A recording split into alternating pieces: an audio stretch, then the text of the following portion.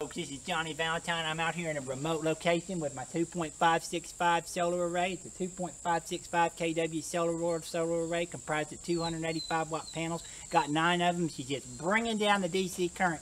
You can see over there in the corner we got our combiner box. It's an MNPV6 midnight combiner and she's just pumping down the power. Come on in folks we're going to show you the power plant.